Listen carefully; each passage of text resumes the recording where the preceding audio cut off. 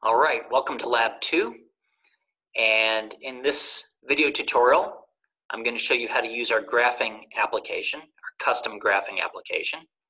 It's actually the first of multiple tutorials in which you'll learn different aspects of using the graphing tool. But in this one, we'll just focus on what you need for Lab 2. Now the graphing tool is separate from Skynet, it's separate from Afterglow, it's its own thing, and we built it specifically for this laboratory sequence.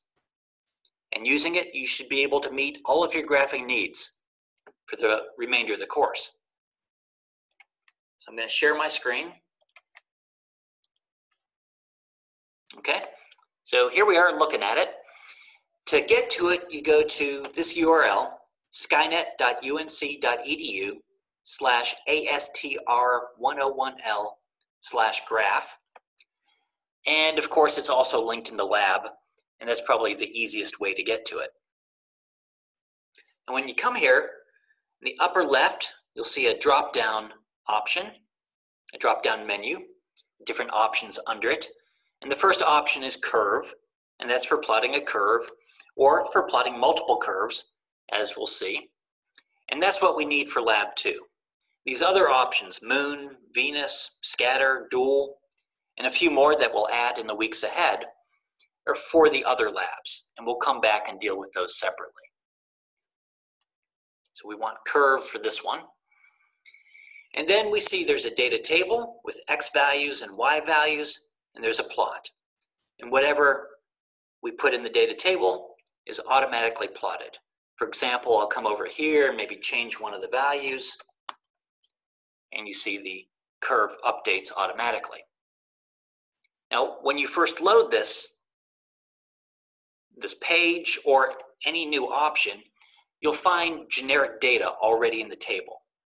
And we can just delete that and replace it with the measurements that we make for that lab. And we'll get around to that in just a minute. Now, in lab two, you're to be, you're going to be making two plots and both plots are going to have not a single curve, but four curves, one for each season.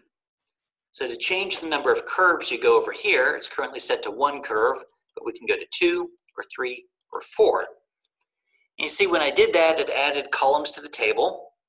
So places for you to put the data.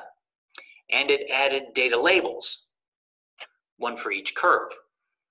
Now we don't see four curves yet because we don't have any data in here. We can add data. You can see it adds a curve.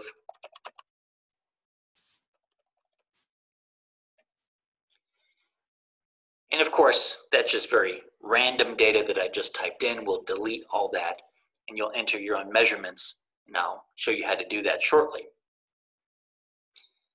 But before we do that, let's get our title and our labels taken care of. And this is important. This is a mistake students often make. They'll enter their data, they'll save their plot, they'll submit it, and they'll lose most of the points because they forgot to give their plot a title, they forgot to label what curves what, what's on the axes and what are the units. Without that information, it's just a bunch of gobbledygook. There's no way to interpret a graph without that information. So it's important that you do this. So, title. In lab two, the first graph that you're going to make is length of day versus latitude. And normally the title just describes what is being plotted. So one axis versus another, that makes an acceptable title, length of day versus latitude.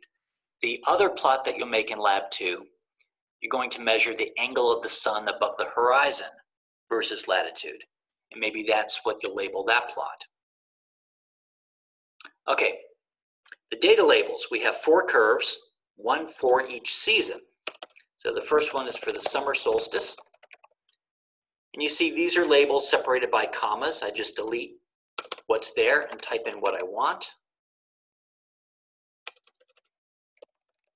Winter solstice.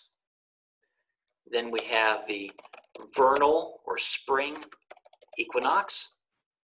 And the last one is the autumnal or fall equinox. Okay, I type those in and you see up here, uh, they updated as I was typing. Now actually I want to be a little bit more specific. This is not just summer solstice, this is summer solstice in the northern hemisphere. Because when it's summer solstice in the north, it's winter in the south. And in the lab, this is northern hemisphere summer solstice. I'm going to copy that and put that ahead of each label just to be a little bit more specific.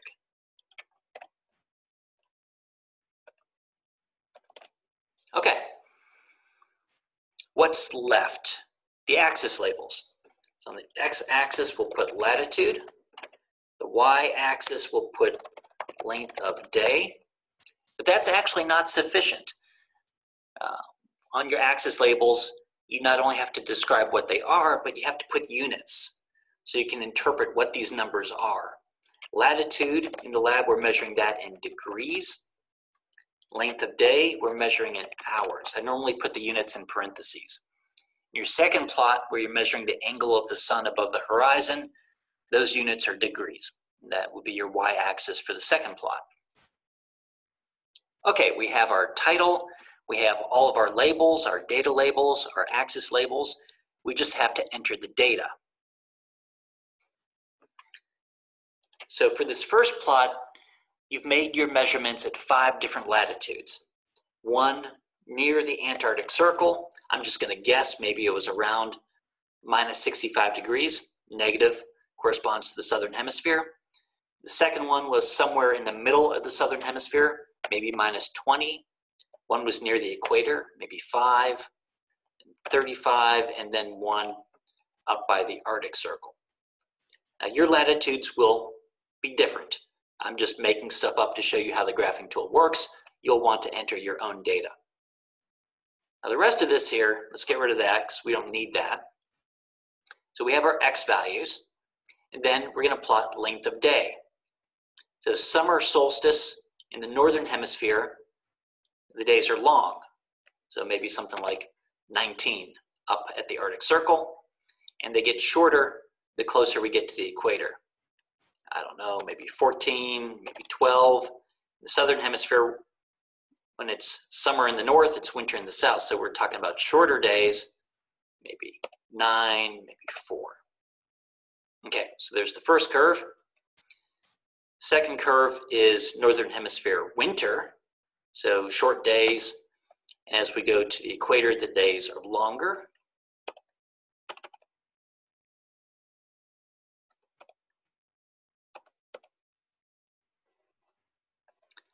And then we have the spring equinox and the fall equinox. And these should all be around 12 days, I think you'll find. But don't just enter 12. You actually have to do the measurements and demonstrate that that's what it should be.